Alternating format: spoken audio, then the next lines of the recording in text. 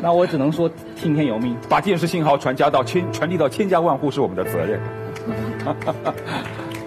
让我再问一点，如果妈妈来了说行吧，你们俩愿意怎么样就怎么样，我也无法去阻拦你们的幸福。但是从此我们断绝往来，不要来往。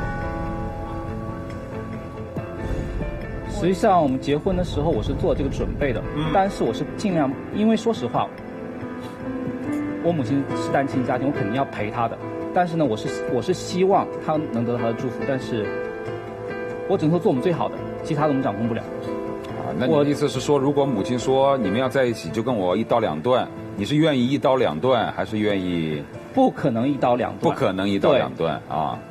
是，只是说是说实话，我妈会生我很久的气，然后我不希望她气得上气得上身。其实内心她已经知道妈妈会宽恕我，妈妈不会一刀两断，为什么不把早把这种结果公诸于天下？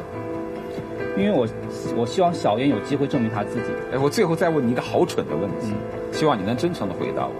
你你妈妈要是跟他掉进水里，你救谁？我已经教会她游泳了，我们一起去救我妈。我们之前就回答过这个问题。这个回答没有新意啊，这个回答没有新意。但我相信，嗯，你会救谁？